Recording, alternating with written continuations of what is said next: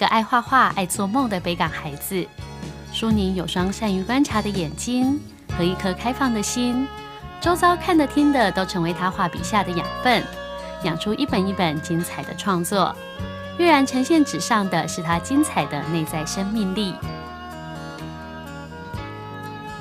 另外一位来宾是淑宁的妈妈，许妈妈的开放与热情，带动了一个家庭美善的特质。爱和分享成为这个家庭最重要的信念。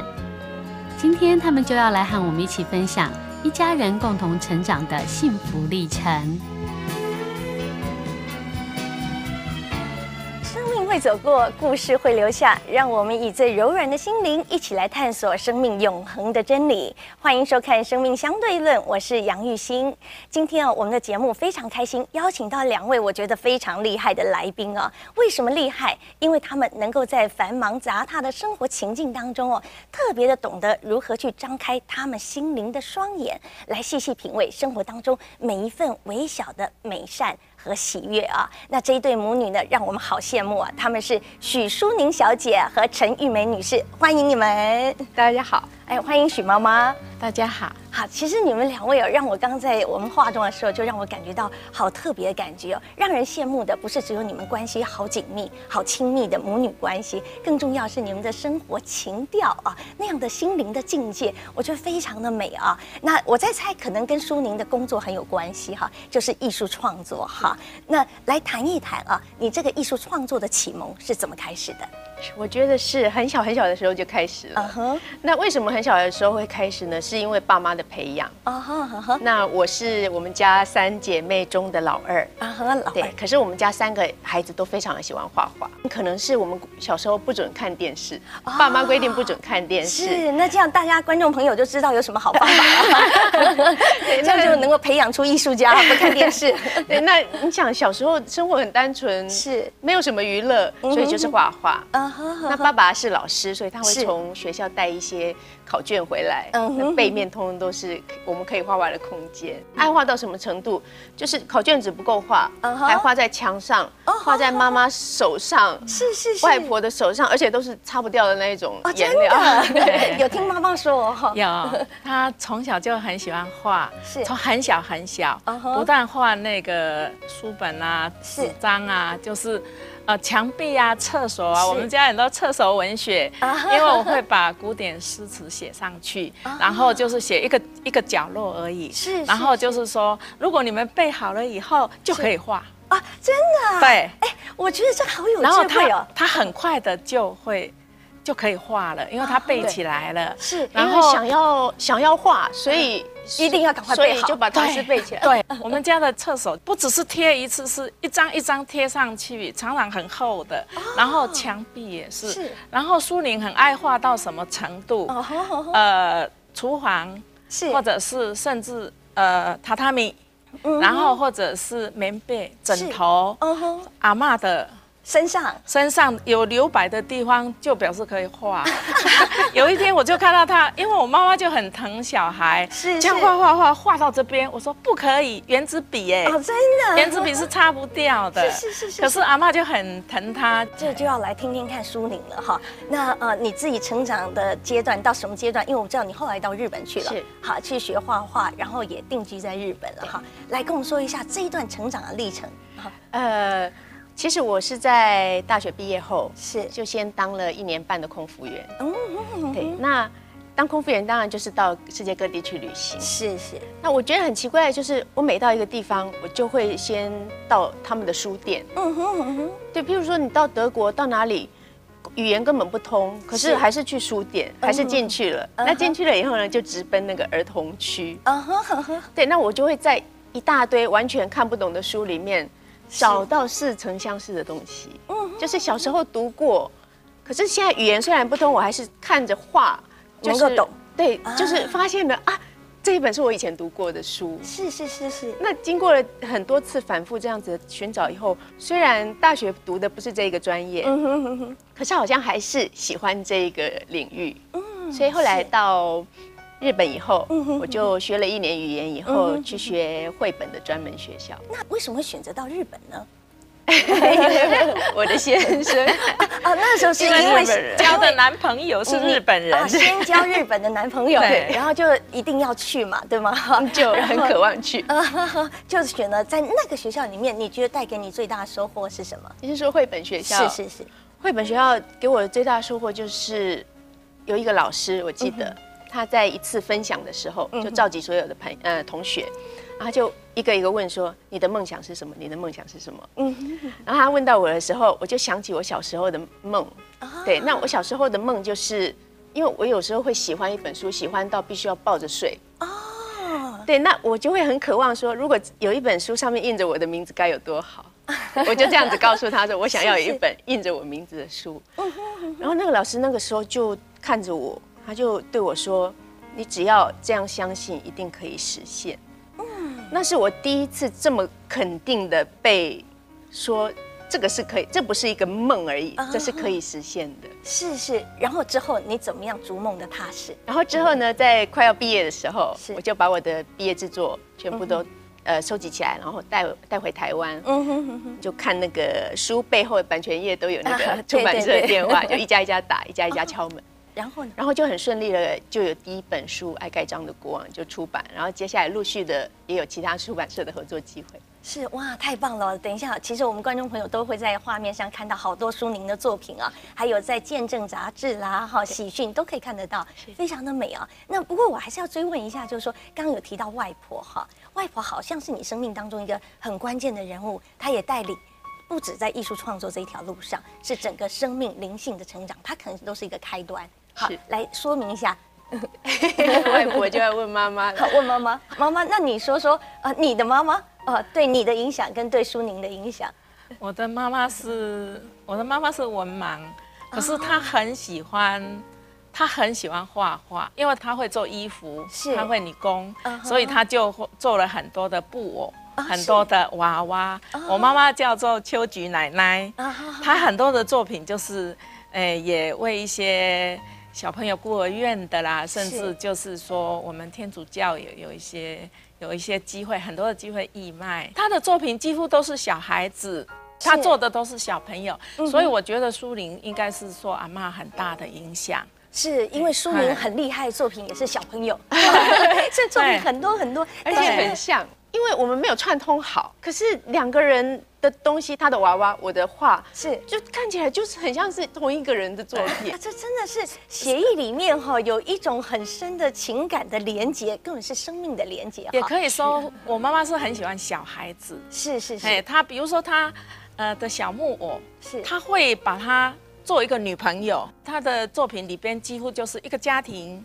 爸爸妈妈、阿公阿妈，是他几乎都是他会自己把它弄出来啊，哎，所以苏宁画的图画里边有很多的小朋友啊，是，其实苏宁的作品哦，我们要等一下来欣赏一下哈。那呃，尤其是小朋友这个部分哈，如何去展现呢？苏宁内心的情境哈，那天真烂漫的感觉哈。我们现在要先休息一下，让大家喝口水，然后等一下继续来聊。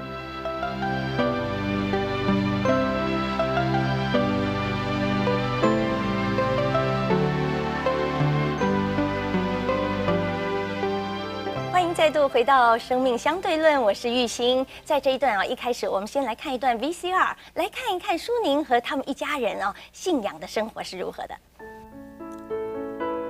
让一天从感谢与赞美开始，是许爸爸、许妈妈和舒宁一家人美好的生活态度。虔诚的信仰带领着他们在生活里面互相扶持，以正面的力量一起成长，一同往前走去。我的外婆其实她是一辈子拜了妈祖，拜了八十六年。那她在最后一天临呃临终前的十二个小时，她才灵洗，真正进入信仰。所以她的仪式整个都是天主教的。那我因为那一个参加那个天主教的仪式，我非常受感动，因为我发现有四个字对我而言是完全不同了。那四个字就是天主是爱。我发现它不再是四个字而已，爱那一个字有了重量，有了感受，什么都进来了。借着人，让我们看到了远超过人的东西。灵洗之后，我也很希望我自己能够成为这样的管道，就是让让人家看到我，也看到天主的美好。爱与分享是我们在这个家庭身上看到的美好特质与具体实践。有了爱，就能安心飞，飞得再远也能安心回家。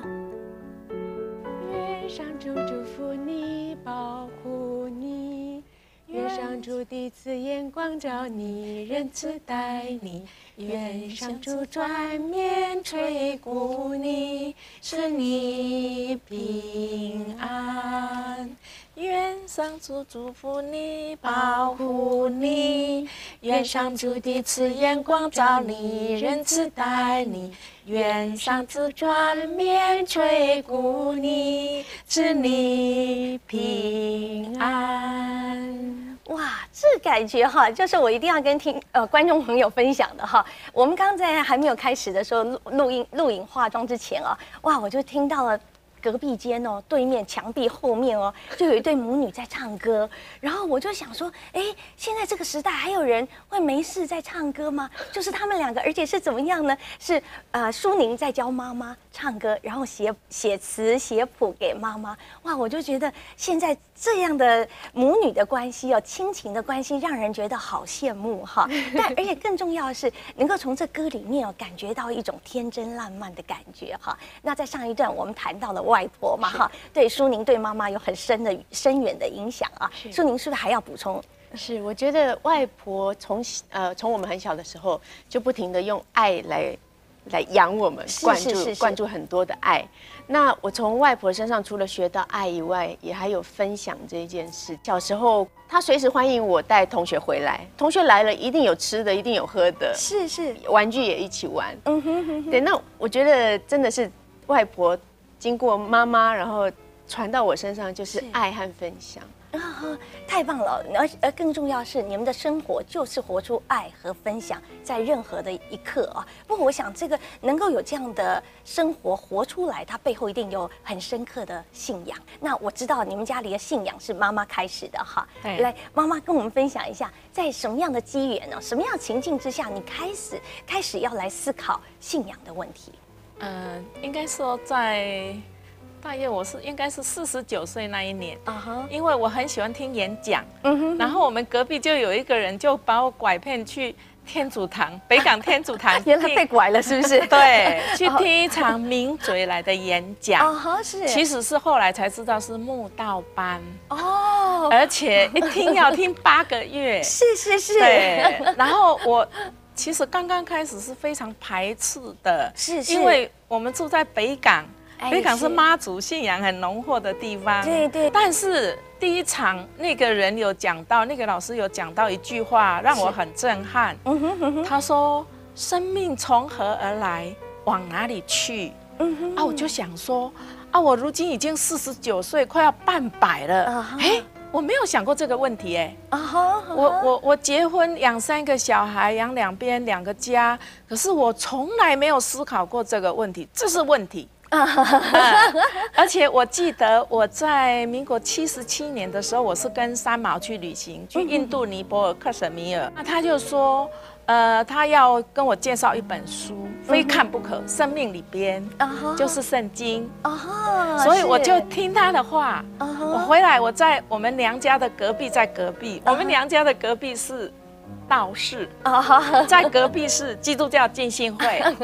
结果我就去找牧师吧，啊，当时我没有信仰的概念，他就拿一本。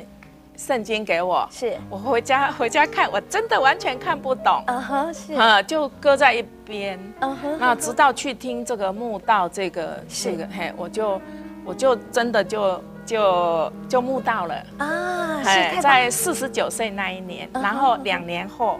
我灵洗妈妈，那你像你这样整个过程哦，一是我好奇的是，呃，来跟我们分享你总体的墓道的这段时间对你生命的改变，跟你思考除了刚刚生死的问题，你还有哪一些收获？好，然后过程有什么样疑惑呢？你说你一开始排斥，那怎么样去突破？怎么样变成接受了？我很会发问，哎，我总觉得怀疑是清晰的第一步，可是我就。一面是很排斥，一面是就是一直很努力的要去了解他。嗯可是毕竟就是也是很很辛苦很难。是是是。然后我背后也有很多拉扯的力量，因为。毕竟是民间信仰的地方，是是，像亲戚是是，好，他们很怕我去信去信天主教啊哈，为什么呢？因为他们觉得这个是背祖背宗的事，就是说，然后有一种，呃，刚开始的时候他们会觉得，哦，你你要去，就是台湾话说去立搞，懒惰的人才会去做这一件事，为什么呢？因为我们很会拜拜。尤其北港那种地方，是是是是，那你就是很懒嘛，你不喜欢去煮啊，去拜啊，所以你特别可以点搞啊，这是很很大的误解。那在生活当中哦，因为我知道你后来邀请了整个家族啊，哈，亲戚朋友一起都要到教会去服务，好，那你是怎么做到的？你用什么方法呢？其实那个也不是刻意，刻意也没有办法，就是因为，呃，我在差不多十八年前，我在北港。有成立一个读书会，叫做笨港读书会。那当时是，就是说，因为没有越来阵容越来越庞大，我们有五十个、五十几个人，是是，那没有地方，后来就去租租一个房子，就是就是天。北港天主堂。啊，好好好，对对对，去租北港天主堂来做读书会的空间场地就对了。没错，每一个礼拜聚会一次，是。那我们当然要付水电费补贴嘛，总是。要。那刚好现在回头看才知道，原来天主是有些安排的，以前不懂。那后来就是我们必须有经费，可是是我们是一个没有经费的团体。是。那刚好那个时候法务部他有呃鼓励那个读书会进监狱。那个陪受刑人读书带读书会，然后他就找上我们。嗯哼。那我们去的时候，每一个礼拜他会给我们车马会，那个车马会我们就来来租这个场地。啊。那也因为这样去认识红山川总主教。是是是。那个时候我还没有信仰。嗯哼。那因为他一直在推动监狱牧灵。是是是。对，所以我认识他是因为。呃，在监狱里边带读书会，而不是有有信仰，反而是后面的。是，哎，哇，妈妈，所以你们家哦，不管有没有信仰哦，其实都有很很浓厚的一份善的关怀。好，就算是还没有信仰的时候，你就到监狱里面去服务了嘛，哈。对。哎，那这一段也是分享一下，就是你到监狱去服务哦，那有什么样的感受？呃，后本来是纯粹的，就是读书会，是。后来就是，当然我后来我有信仰了啊，是。也也去带信仰分享。嗯哼。呃，我我最感动的是有一次我在一个工厂分享，是。然后就讲讲完了以后，有一个受刑人，因为那个工厂是做那个塑胶花，然后他大概有剩下一朵很简单的红色的，他就拿到我的前面来说：“陈老师，这一朵送给你了。”这是他的表达方式。是。对我们也很感。感动，是，对。那后来我们发现说，其实，呃，我们平常的学校的教育，他们他们不喜欢读书，嗯哼。但是因为在我们带的过程，他们原来可以这样读书，是。对，我们曾经有一个 case 非常神奇，就是他是明天要假释了，但是我们是明一个礼拜去一次，是。那他宁愿等我们一天，哦，嘿，从来没有这样的。哇，真的好美哦！哈，我觉得你看看，我们活在这个世界上最美的事情，就是能够让人感觉到希望，感觉到信心，感觉到盼望和爱。哈，我相信这个在监狱当中这位朋友，他一定是惊艳到一种神奇的力量，所以一定要再跟你们见一面。好，哇，真的很美。哎，谈到这边哈，我下一段要特别来请教舒宁哈。那妈妈用好多行动。好，去表达他的爱哈，把爱传出去。那苏宁是用创作来传递你的爱哦。我们在这里休息一下，马上回来欣赏苏宁的创作。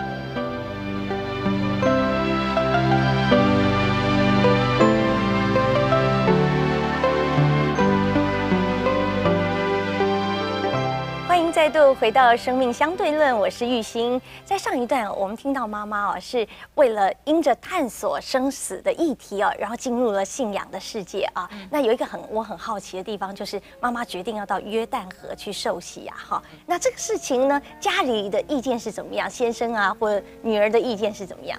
首先，当然先问先生，是先生他他反对啊，可是我还是觉得我很想去。朝圣，然后很想在那里灵洗，我就打电话给女儿，她电话中就跟我讲说，奇怪，爸爸为什么要反对？这个婚姻和信仰，在我们家来说，应该是自己决定。然后我就把这个话告诉先生，然后他就没话讲。啊，哦，说您启发了妈妈，因为爸爸疼女儿，爸爸比较听女儿。真的啊，好方法，好方法。哎，那这样子我就要再问舒宁了。那你受洗的时候呢，你也是要问先生的意见了？对，我当然也是问了一下我先生的意见。那我的先生很有趣，他他不是他不是基督徒，是。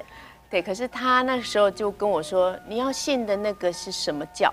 我就跟他说：“天主教嘛。”嗯哼，然后他就说：“是不是你爸爸妈妈信的那个教？”嗯哼，我说：“对。”然后他就说：“如果是你爸爸妈妈的那个信仰的话，我赞成。”啊，我觉得非常感动。他所认识的基督徒，唯一看到的是我的爸爸妈妈。是，所以爸妈一定是做了很棒的见证。我相信是吗？那 那说明就你的观察，你觉得你爸妈最重要让你先生看见的那一份喜乐或者爱在哪里？你讲一两个例子。我觉得是善良，还有真的是爱分享。嗯哼哼哼，对，那个可能是让他觉得大开眼界的地方吧。有的时候，像我先生会自己一个人跑到台湾来玩。我在日本的时候，是是是，那他就他也不怕，他就一个人跑到北港去。对那就完全语言不通不通。可是我们也可以三四天，很高兴也去玩。嘿嘿，我们都是用写的。哦，用写写什么？写啊汉字我写中文，他看得懂，看得懂。对。啊，对，我想这就是生活当中怎么在点点滴滴、细微的事上哦的一种体贴或关怀。我想人家都可以感觉到爱。对，很难用语言说出来，可是是超越语言的东西。是是是，我想这个我我可以帮妈妈举一个例子啊，好比一杯水哈，拿给她喝，其实你她会感觉到的不是只是一杯解渴的水。而是那个水背后是一份浓浓的爱，关心你在这里好不好，开不开心哈？哇，我从妈妈你们这短暂的相处，我就感受到了哈。好，那这样我们要转回来听一听舒宁的创作的心路历程哈，听一听，哎，你到底呃都喜欢选什么样的材料来创作？那创作是如何进行的？呃，像墨水，是是，对我我会用圆珠笔画画，从小 会用圆珠笔画画，可是我没有真正用过沾水笔。就是有点像以前的羽毛笔啊，是，就是在在墨水瓶里沾一下画一下，那个墨水的量其实很难掌控。哎，对对对，那有的时候会太多，就整整幅画就就毁掉了。对，那有时候 太少，就是然后然后那个笔尖又会刮破纸。是是是，所以要跟他交往很久，跟他 做朋友做很久以后，才会渐渐说，嗯，可以画出自己。那那在这么困难的状况之下，为什么你最后选上他，这么爱他？好，你一定也从这个困难里面发现它的美感，哈，对，是吗？它的美在哪里？像我用这个沾水笔画，现在最最近的一一呃一部作品就是保姆包瓶的插画。嗯哼，那保姆包瓶是英国十九世纪的时候的作品，是。那个时代的插画，差不多都是用羽毛笔，差不多都是那个那个。样子，那我从小的时候就非常喜欢那些插画。啊，所以我会想要说，在我的作品里是不是也能够有那样子的味道？那样子味道是不是用其他的笔做得出来的？对。啊，所以就是因着这个渴望继续画下去，太棒了！哎，那你要不要为我们分享说你怎么样啊？从生活的这些材料信手拈来一些简单的材料，然后把它转换成为一个绘本。好，一个故事，这是怎么做到的？呃，我想举一个例子，就是我的《爱盖章的国王》那一本绘本。是是，那那个点子其实是在我国小。很小的时候，嗯哼，对，就有了。嗯哼，那为什么很小的时候就有呢？就是因为爸爸妈妈其实很重视我们的，除了教育以外，还有一些娱乐，就是要他也喜欢让我们出去看世界。有一次，我们就是到故宫，是那到故宫以后，我就发现有很多画都好漂亮，就站站在那边看。可是有一个很奇怪的地方，就是。每一幅画上面都有很多印章 啊哈，就盖在不适合的地方，就是整个破坏画面的地方。是是是。那我就想说这怎么回事？而且最最严重的是乾隆啊哈，他的章最多。啊，这个点子一直就在我的心中，就是有一个这个很很不合时宜的盖章的人。是是是。那后来在我做毕业制作的时候，我就想说我要把这个点子弄成故事。假如有一个国王，他很爱盖印章，可是他盖的印章都盖在人家觉得。嗯，怎么怎么这样的侵犯别人，因为他是要拥有嘛，他没有发现到给人家带来困困扰。嗯哼哼。但是到后来有一次，他收到很多抗议信，他才恍然大悟说：“哦，原来自己做的这个是造成人家不舒服。”是。那所以他心灵受伤，他其实很难过，他不想要带给别人痛苦。是。可是他又想要保存他的这个嗜好，那怎么办呢？是。要透露到最后吗？透露透露透露，好，叫大家再再再去看一下哦。口述的跟绘本有什么不一样？好好。那结果呢？有一次我就给安排他，有一次他到街上，他去看到了有一个人也是在盖印章。嗯哼。可是奇怪的是，那个人盖印章，大家都笑，大家都笑眯眯，都很高兴。嗯哼。我想说，那怎么回事？是，就他就去看，就发现说，原来那是一个包子师傅。哦，那他每做一个包子，就在上面盖印章，菜包就盖白菜，呃，肉包就盖小猪。是是是是，他才发现说，哦，原来喜好是可以跟呃对方的需求结合，是是是是，所以他后来就发明了邮票啊。和邮戳。啊，所以就是每盖一个邮戳出去，就是送出一份爱啊哈哈。哇，太美的故事了哦！哎，你本来脑海里就已经有很多跟印章有相关的事情，还是当你要去创作一个新的题材的时候，你也是一定要去收集一下相关的讯息来把它做组装。对，我觉得点子是需要收集的，没有办法说我现在好，我坐在这边想两个钟头就是可以出来的。是，所以我我会很注重的就是在平常的时候我就收集点子，嗯，所以我随身一定会带着纸笔，那只要想到什么，可能是只是一个字，可能只是。茶杯是，然后看到呃灯，对，那我就写下来。就像刚刚在摄影棚还没开始啊，苏宁就告诉我说，那个树叶啊，哈，我们前面前庭树叶 好像呃灯烟火。我我自己愣了一下，想，看看，哦，果然有。你看地板，你会不是直接看叶子，要看地板啊？那我就说，这就是艺术家的眼睛哦，跟一般人不一样。苏玲从小就这样啊，真的？对，从国小 三年级，老师就跟我讲说，苏玲都是很会幻想。上课的时候，他要把他 许淑玲站起来，然后他吓一跳，是。因为他是《爱丽丝梦游仙境》，他说把他叫起来站一下，坐下来，他就会集中精神。其实你看看这个事情很奇妙哈，就对艺术家来讲，这实在是一件很棒的特质。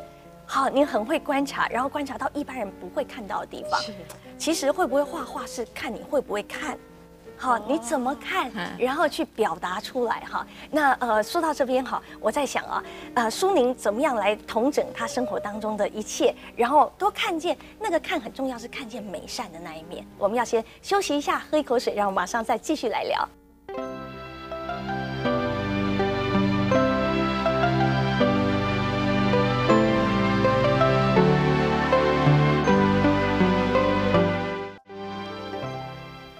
欢迎再度回到《生命相对论》，我是玉兴。那这一段呢，我们先来欣赏一段 VCR，来看一看舒宁啊他的创作过程以及他的作品。一个从小爱涂鸦的孩子，现在以多样的创作和这个世界对话。看到舒宁笔下的人物，总有和他自己非常相似的特质，一种单纯的喜悦，以及面对世界的感恩和好奇。这些精彩的创作分享，有舒宁旅游的记事。生活的心情，童趣又饶富深意的故事，如此多元且多产的他，除了用纸本传递自己的想法，他每日都认真的在部落格上书写，将所思所感透过网路线分享出去。我联系他十一年了，但是他比我走得更深入，哎，所以我们教会说有一句说后来先到。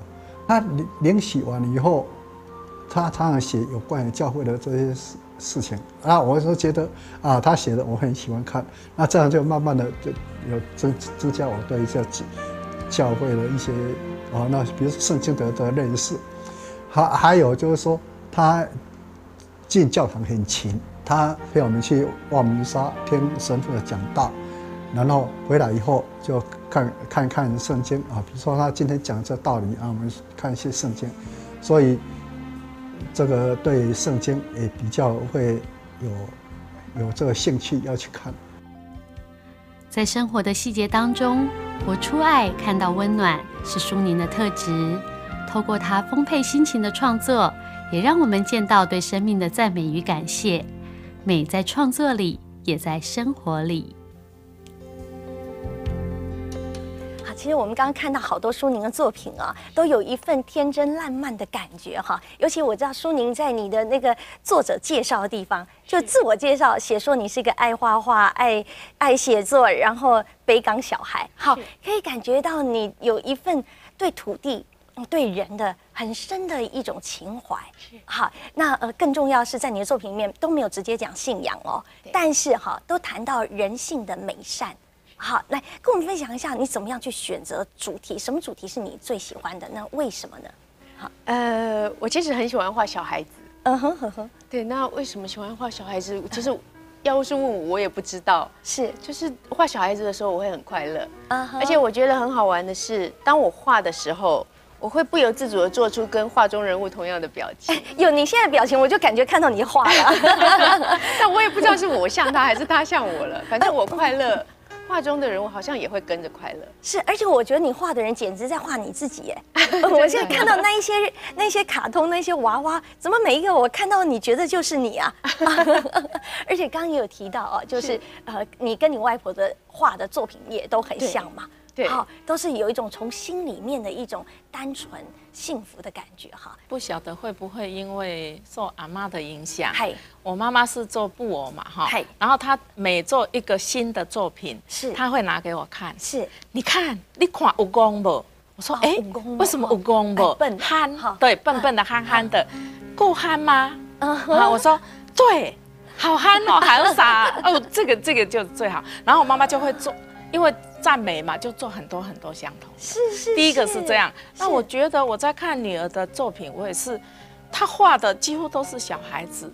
那小孩子就是我过追吧，啊哈哈，很可爱啊。其实妈妈刚提到这个很重要哈，就是说为什么阿妈哈她喜欢吴公公母，哦，就代表她看着这个即使是笨笨的小孩，其实在他眼睛，他的心灵跟眼睛看出来其实是美的哦。对，他是喜欢这这种可能世俗的标准是笨笨哈，他是不要做很。很精明、聪明的，精明的，他不要，他要憨憨的。哎呀，我最喜欢这样了，因为我也是这样。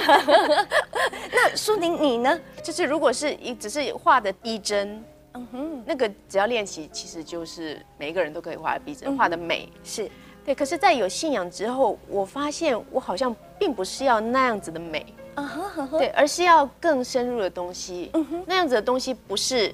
不是只是一个美或者是技巧好可以表现的。那苏宁，你要不要能不能具体的再说一下那个东西你要到底是什么？好，就像呃，比如说如果我们去博物馆，嗯哼，然后看到了一幅画，嗯哼，非常漂亮，像像照片一样啊，对，那我们可能会觉得说，哇，怎么这么漂亮的画，怎么这么厉害啊？哈，然后看完就过去了，是。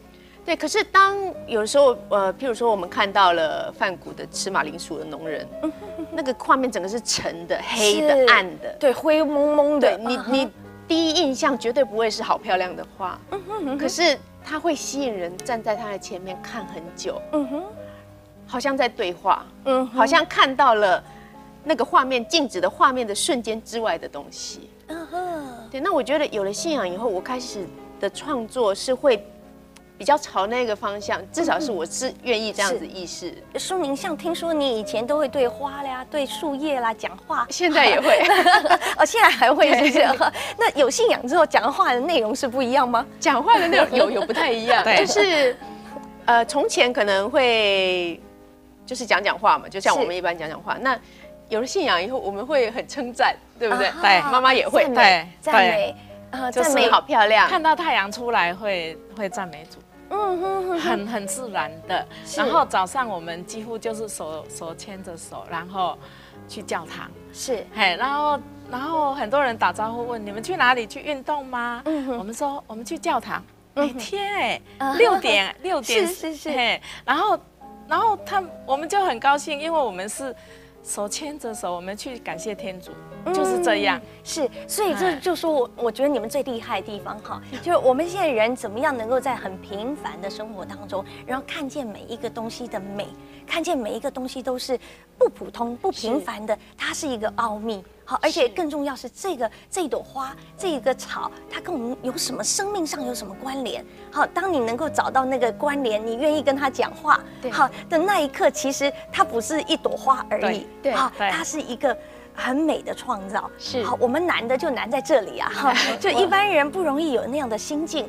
然后也是读经，张淑玲是每天早晚祈祷读经，她是她这方面是很努力。那她我觉得读经以后再画画，她有她有跟别人不大一样。我就看她，她就是好像如果我们写那个书法是力透纸背，那他是画的时候，可能就是那个那个感觉不只是一张画。你不是说很是这个让他来讲补充一下，淑宁。我觉得有了信仰以后，我我的画，呃，不是平面的，嗯哼哼哼，对，或者或者是至少说我希望它不是平面的，嗯哼哼哼，对，而是而是有厚度的，嗯哼哼哼，是对你看到的可能是两个人在相呃注视着对方，是，可是我希望能够让呃就是看到画的人是听到他们说的话，那呃知道说他们。在这个瞬间之之前做了什么，之后做什么？嗯哼，我不知道该怎么具体说明。可是，真真的是让我惊讶的是，在信仰之前的话是比较没有互动的。嗯哼，跟跟跟我也是，跟看的人也是。啊，是，所以其实哦，是信仰，是生命的层次不同了，生命的高度不一样，宽度也不一样，然后去体会这个世界的细致度，其实也不一样，但是会反映在苏宁的作品哈。对，好好，太棒了。那但是还有一个很重要，是因为你很擅长观察哈，然后把你观察的心得都透过部落格哈来分享出来。妈妈刚刚说你很很努力啊，读经啊，祷告啊，其实当一个艺术家真的是非常努力的。你要创作，不断的文字跟图画创作都是很用功的哈。来分享一下，你为什么要这样做？因为我有了信仰以后，我非常的喜乐。嗯哼，我很想要把这一份喜乐传出去。是对，可是我不能用。强迫人的方式，因为我自己从前也是，当妈妈爸爸临洗以后，以后他那个有一位神父常常问我们女儿说要不要临洗啊，然后我们是笑笑的，可是我记得我心里就是啊，才不要，才不要。对，那我就想说，这好像不是这样子直接的方法，好像并不是对每一个人都适用。嗯对，那怎么办呢？那后来我我就发现，更新部落格以后，的确可以增加读者的的。的阅览数是 对，可是唯一很难的就是，当一件事情，就算再小的事情，要每天规律的去做，其实是最困难的事情。没错，没错。而且其实最重要是看你的作品啊，其实都能够发现到弦外之音啊。好，那这就是很重要。就我刚刚说，你很擅长观察这件事情哈，而且观察已经成为你的习惯了嘛哈。是。那但是我想要请你再跟观众朋友分享一个撇步啊，就是观察背后要什么样的态度。好，你才能够真正去看见那个平凡背后的不平凡。我用我们信仰的话说，我们天主造人，天主造万物，是他都是用善良的心去造的。所以我相信所有的东西都会有善良的一面，尽管我们看到的可能是它显现出来的影子，嗯哼，可能是阴暗的部分，可是一定有善良的那一面。嗯哼，那我觉得我在观察的时候，如果能够用这样子的心去看的话，会有很多原本存在的美丽就会出来了。是，哇，真的是不容易哈。其实我们要学习的就是那一份眼光啊，好，能够看出善的眼光。所以说，您给我们一个很好的提醒，怎么样在每天哦，也许观众朋友你就自己想哈，每天你所接触到的人，好，从人开始，然后去发现他的一个优点，发现他一个美、一个善的地方。那时候我们会在他身上就是看见天主。是，好，太棒了。好，那我们要先再休息一下哈，再喝口水，然后等一下我们继续来聊。好。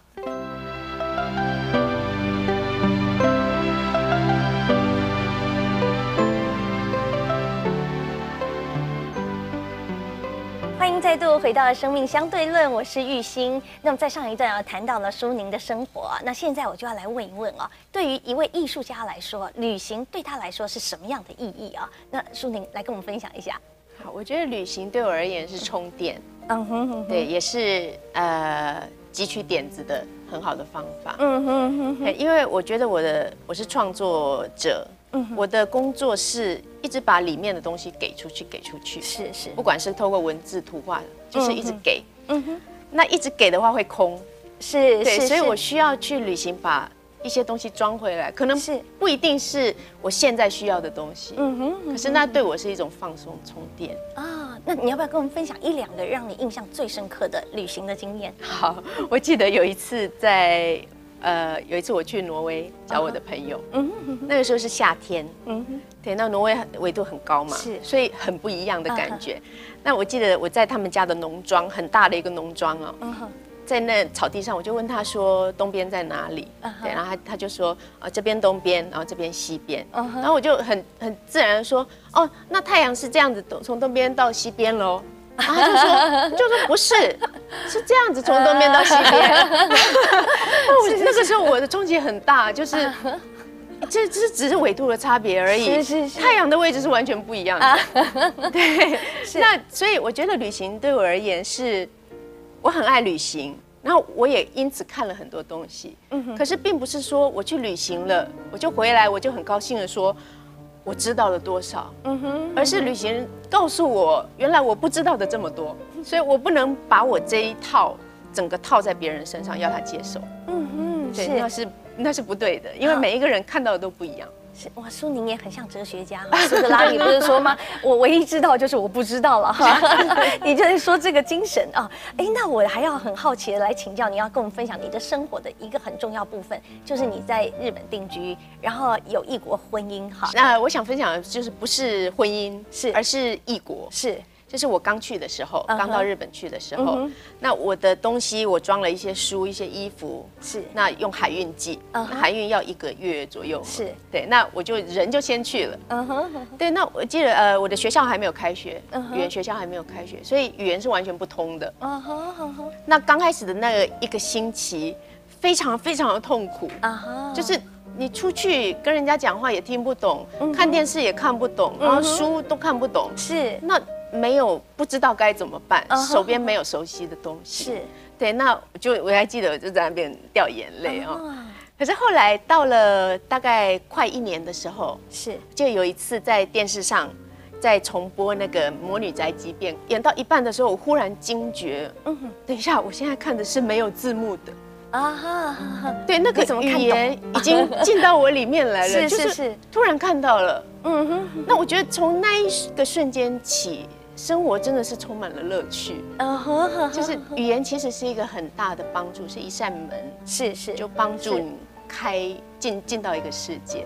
我有两个问题啊，一个是我看书宁讲的，好像都很云淡风轻哈，没有任何困难哈，没有任何问题哈。可是生活当中总会有一些呃不如意的时候，或者你觉得是挫折或不满意的事情哈，有没有？那你怎么样去面对呢？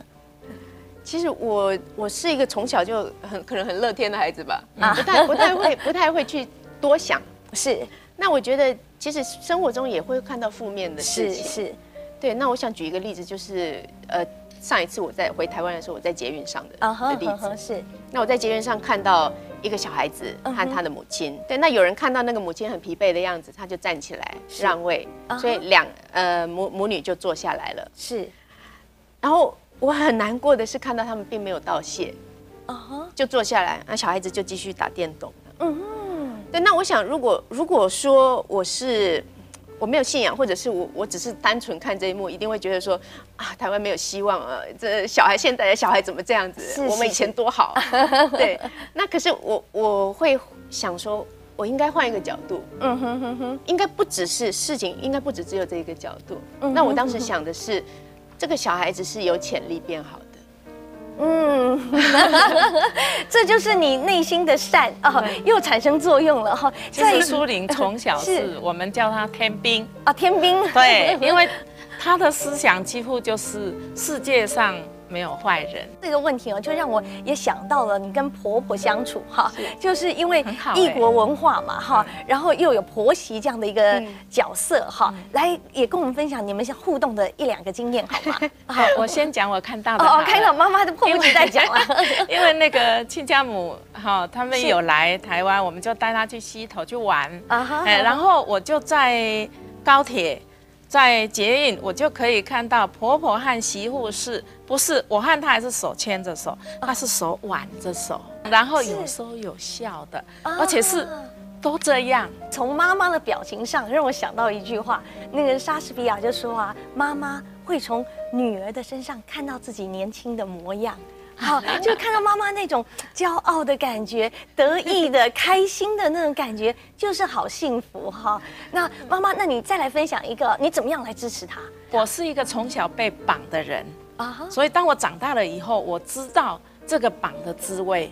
当然，妈妈也爱我，是。那因为就是早早些年代就是重男轻女，是。那我就是必须必须要护这个家啊，那我就知道。我我觉得我已经被绑，我总不能再绑别人。所以当我孩子长大，一个一个要飞出去的时候，我告诉我自己没关系。反正就像放风筝一样，这个绳子掌握在我手里，我只要这样这样拉一拉，还拉得到。对啊，我其实我也发现说，一定要让他出去。嗯哼，他那个见识是不一样的。我知道妈妈最近也是为了孩子们搬到台北来，为自己哈，可是也为孩子哈。哎，一方面就是因为苏玲可以说一年有三分之一的时间在台湾，在台北，是是，因为他是兴趣、工作嗜好结合在一起。是是出版啊，文字啊，画画呀。是是。那他在台北，他都租房子。嗯嗯。那如果我搬来，他不就住我家吗？啊。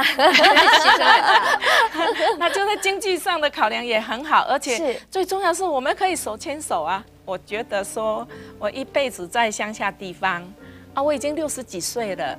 我想住台北，是。我说我就告告诉孩子说，我想住台北，他们说可以呀，为什么不可以？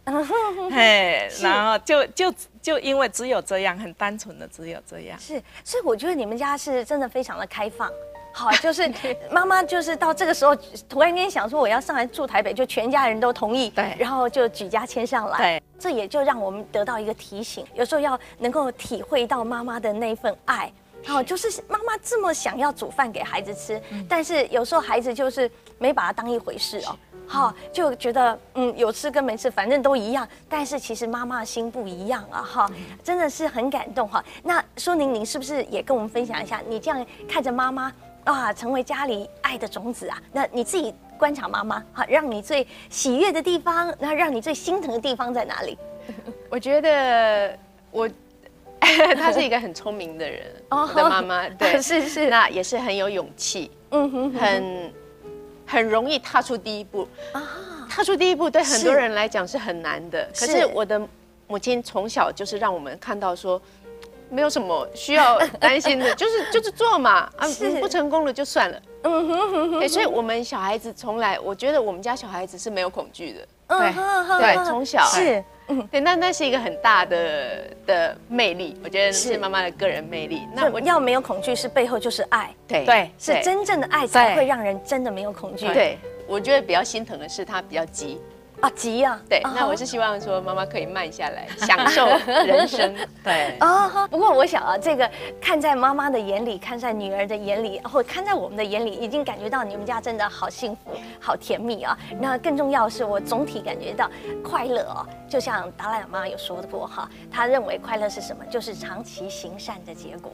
好，在两位身上就活出了这份长期行善而有的喜乐。好，而且更重要，找到生命喜乐的根源，来自于信仰。好，每天活在信仰的光照当中，好有活力啊！然后带给大家温馨和盼望，还有好多美好的见证。谢谢你们的生活，谢谢你们的分享，谢谢，谢谢，谢谢，谢谢，谢谢。好，下次。